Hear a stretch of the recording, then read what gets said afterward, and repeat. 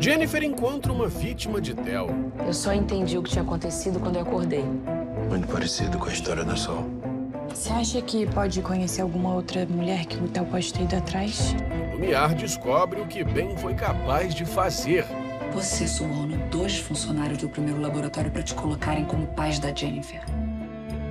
Você forjou um documento. Você vai me denunciar? Hoje vai na fé.